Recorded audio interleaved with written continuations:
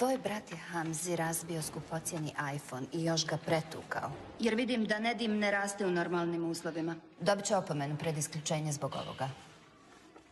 Šta ima? Možda vidiš šta ima. Vidiš, brate, bifte, kaže, nije dovoljno pečen. Kakav će biti tartar, reš? Čiza, trebao bi mi iPhone. Dvije tisuće. Ma daj. Samo za raj. Šta doma? Šta doma? Šta šta? I odakle ti 20 neopravdanih? Moja stvar. Ma kako bolan tvoja stvar? Tako ti je to kad imaš brata. A što se ti majke ti pokrila? Imam krive noge i klempave uši.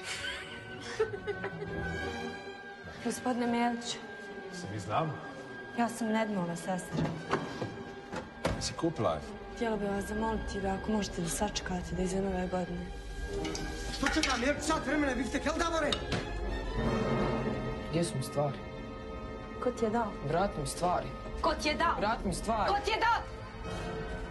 I nismo rasli na grani nego u ratu. Za razliku od nekih.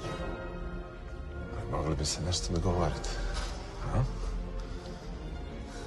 Slušaj, smrad.